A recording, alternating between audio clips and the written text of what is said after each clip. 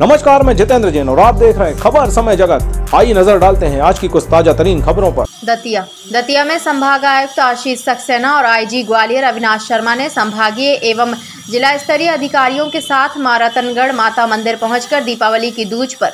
पाँच एवं छह नवंबर को मारातनगढ़ माता के दर्शन करने आने वाले श्रद्धालुओं की व्यवस्था के संबंध में शुक्रवार को निरीक्षण किया।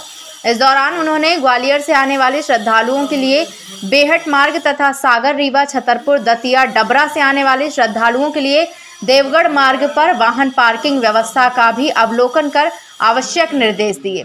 साथ ही बाढ़ से क्षतिग्रस्त पुल एवं मार्ग का भी अवलोकन किया। उन्होंने निर्देश दिए कि पुल मार्ग से आवागमन ना हो सके, इसलिए बैरिगेट एवं जालियाँ लगाई जाएँ।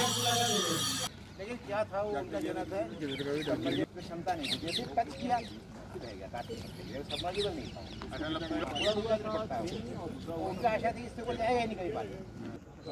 खबर समय जगत के लिए दतिया से सतीश सिहारे की report.